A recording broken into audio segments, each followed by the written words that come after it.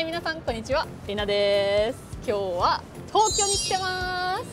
ここの東京では東京都がやってるイベントと施設に今日遊びに行きたいと思います。ちなみに今は新宿の IKEA に来てます。イケアに来ました。はい。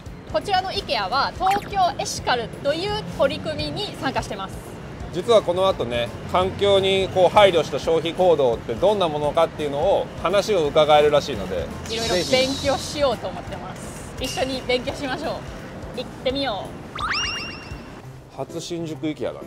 うね IKEA ってやっぱり家具可愛らしいよね。この照明が可愛い。レナの家にも似てるよね。ドイツの。そなんかこんなおしゃれな感じだよねレナの家も。日本の家とはちょっと違うよね。うなんかスウェーデンとかヨーロッパっぽい。そう。おレナ見てあそこプレッツェルある。プレッツェルがある。ドイツのプレッツェルがある。なかなか珍しいよ日本で。めっちゃ美味しそうじゃない？あれ何か見つけました？か こんにちは。今日はよろしくお願いします。くお願いします。あの勉強しに来てますので、はい。いろいろ教えてください、わかりました。はい、まずは IKEA の取り組みを教えてください。えっと IKEA の方では。まず大きなビジョンとしてより快適な毎日をより多くの方々にというビジョンのもとでみんなが働いています。で People and Planet Positive っていう言葉もあって地球とあとは人に長期的に貢献していけるようなブランドとして働いています。でその関係で今東京エシカルに取り組んでいるということですか？はい。こちらのコーナーはサーキュラーマーケットって言います。例えばお店で展示品で使われていたものだったりとか、少しお値引きした価格で出しているものになります。それがありがたいね。あ見てタカ。これ本物なんじゃない？本当だ。観葉植物。本物だ。本当だ。水が観葉植物 いりません。東京から名古屋に帰らなきゃいけないので新幹線大変です、これ皆さんあタコ足使ってますか？ここれれすっ便利だごいよね便利。あと向きがもう変えれるからいくらですか？129円だ安いから。安い。からといっていっぱい買うとね 結局お金いっぱい使いますよ。これもこれなんていうか知ってることわざで。何？何だったかな？もうわかんない。見てこれめっちゃ可愛いやつあるよ。可愛くて欲しいけど何に使えばいいかわかんない。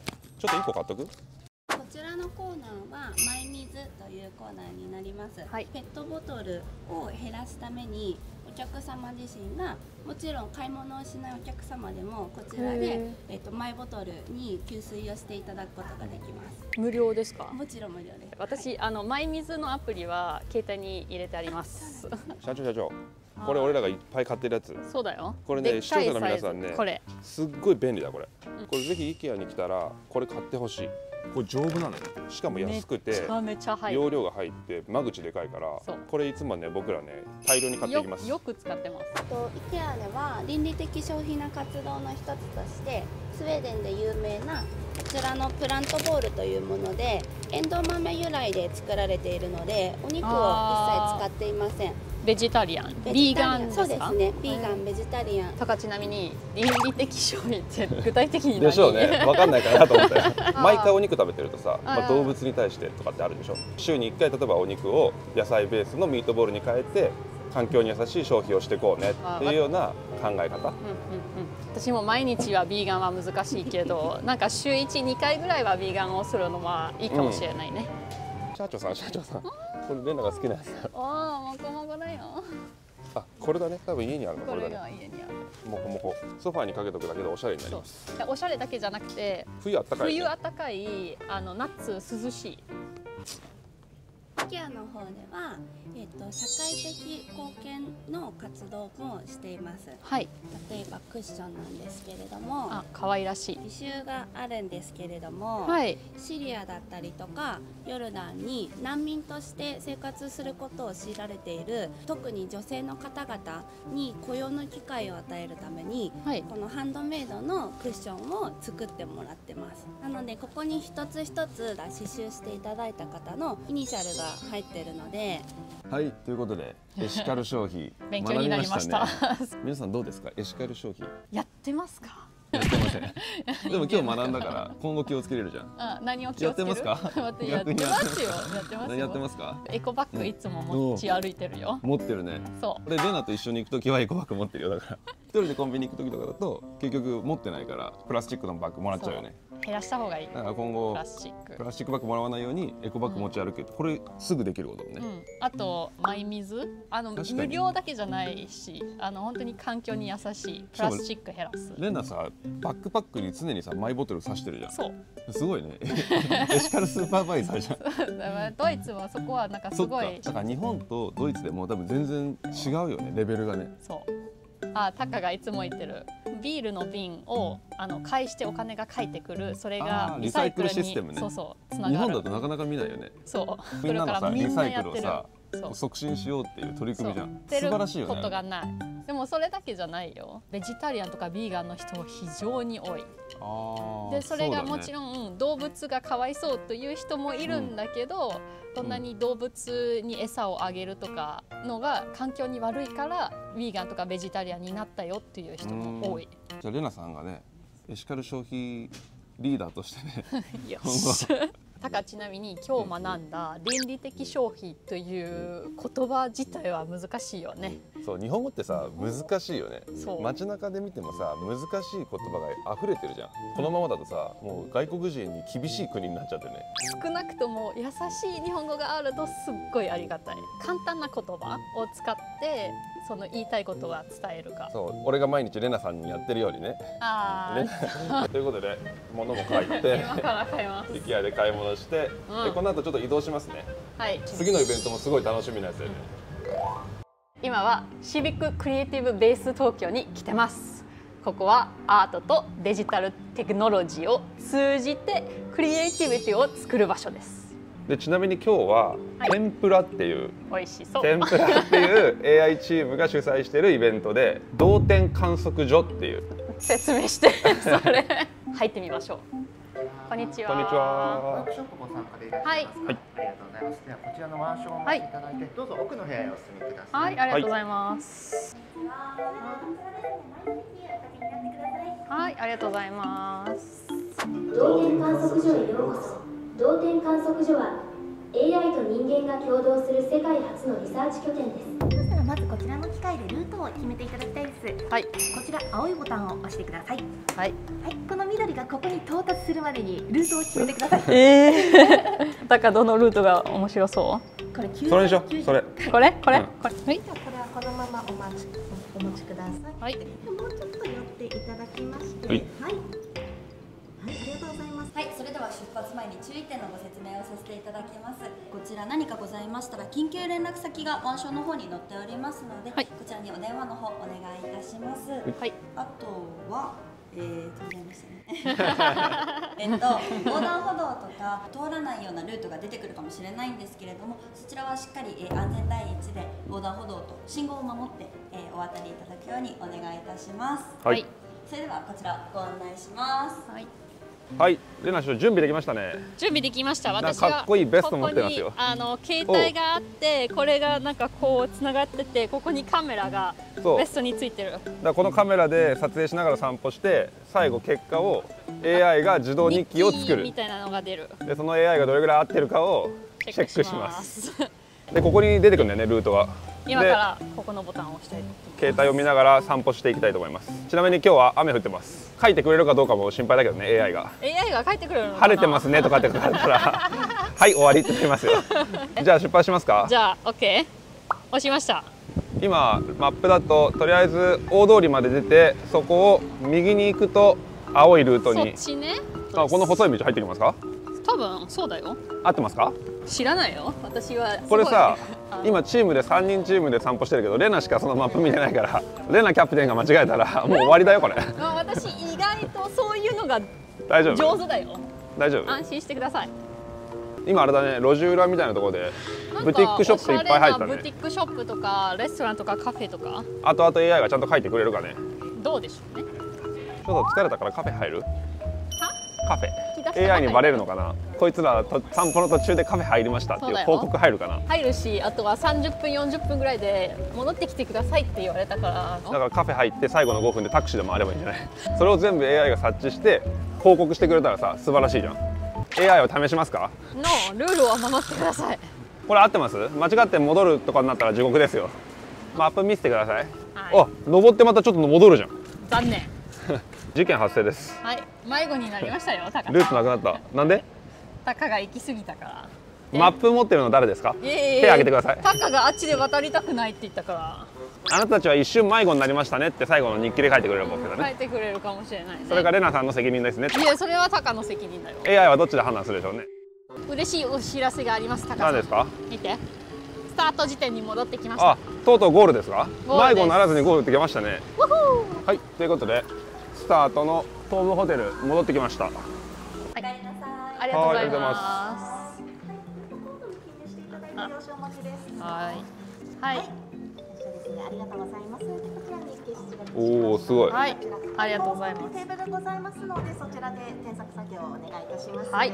AI が作成してくれた日記が出来上がりました、ね、ちなみに英語もあるので両方出してもらいました2024年1月20日。合ってます。これ合ってるよね。これは私たち3人がいつものように散歩に出た日である。いつものように間違わない。いつもはい消しておきましょう。はい。軽やかな足取りで街を歩くことを決めた私たちは13時25分に待ち合わせをして知的好奇心を満たすようなルートを選んだ。でやがて私たちは渋谷の繁華街を抜けてはい。マーガレット・ハウェル？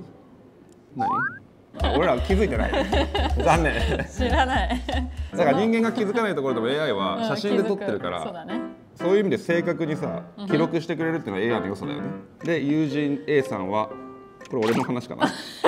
友人 A さんはこれまでの自身のマーケティング経験からその商品提示に洗練されたセンスにマーケティング経験がないね。続いて散歩を続けながら会話は自然と学問的な議論へと移り変わり移り変わったの移り変わってない で美しいアートワークの話題で盛り上がった。アートの話はしてたかもね。覚えてないけど。してたかもしれない。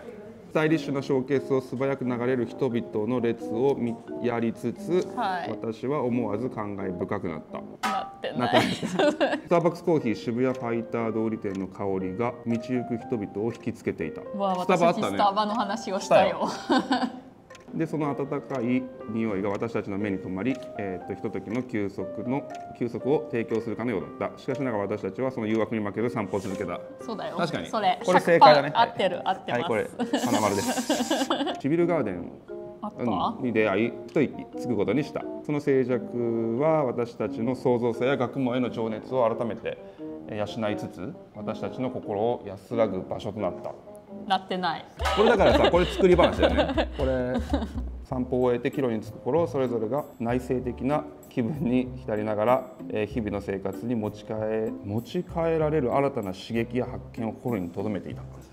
私たちはすごい人だね。なんかもう文学的な文章になってるねでもさこのお店を通ったとかさ、あとはスターバックスを横目に見ながらとかさやっぱり映像的に残ってるところは正確に記録してて、まあ、時間とかもそうだけど。う全然間違ってるわけではないじゃん。んでも全然合ってるわけでもない。まあ 50%50% ぐらい。LT ブログの作品がそこに貼られました。ありがとうございまあす。いやこちらこそありがとうございました。すごいあのシンプルな構成ですが他はなんとなく合ってるって感じを抜けられましたか、えーどどっちかっていうとな行った場所は合ってるかなとは思いますけどその何を感じたかは AI はどうやって？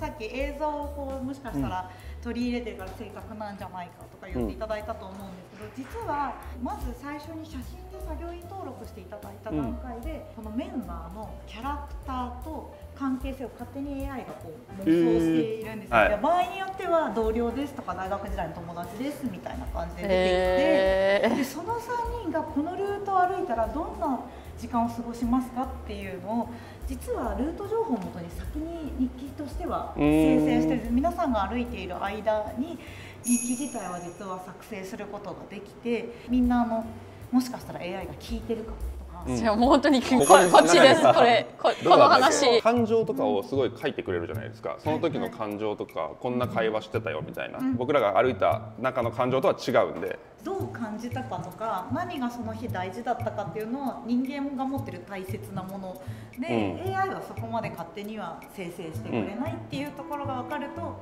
いいなみたいな感じのまあ確かに確かに。自覚ではあります。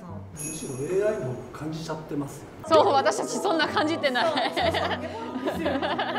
ちなみに研究チームの名前ははい。天ぷらになってるんですけど なんでその名前になりましたか？あのまあ可愛い名前がいいなとは思ったんですけど、はい。美味しそうな名前です。美味しそうな名前ですよね。通じる。あ通じます。はいそうはいわかるかなって思ってで PMPR は東京モーションポイントリサーチャーズのなるほど。略なんですよ。はい。でまあ可愛い覚えやすい名前が良くてなおかつこう動いている点 P あの日本の数学の問題でよく点 P っていうのが動いてるよっていうのでよく例題で作られて、なんか私たち生きてるまあピープだったりパーソン一人一人っていうのは動く点 P でマクロで見ると動いてて、でそういうなんか動いている人たちのことをリサーチしたり自分たちのこの同点観測所も動きながらいろんな街のこととか世界のことをリサーチしたいなっていう気持ちを込めて。ちなみにいつからやってるんですか？あそれはでも去年の春からです。2023年の春にチーム結成をあして。わかりました、はい。ちなみに天ぷらって名前を決めた時になんか複数名前の候補出したと思うんですけど、はい。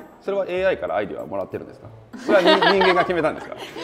あ人間が決めたんです人間が決めましたでもチラシに書いた煽り文は AI にコピー書いてもらいました。はい住み分けは大事だね。そうなんです、うん。最初の指示は人間がでどう使いたいかをに付き合ってもらうみたいな関係で私としてはそうですね。あのツールとしては AI がすごい助かりますよね。そうツールとしては助かります。入り口にすごすいのがありますよね。すごい。これこれはあの移動式の同点観測所です。同点観測所？はい。というのは？というのを挙げて。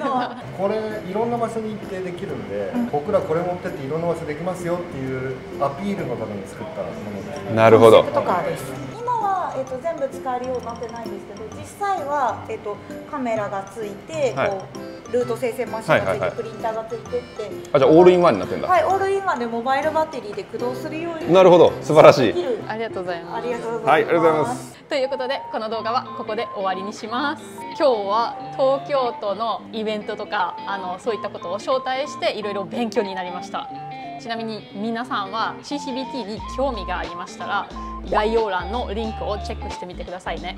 この動画が楽しかったならぜひいいねボタンを押してください。チャンネル登録もよろしくお願いします。それではまた次の動画でも会いましょう。バイバーイ。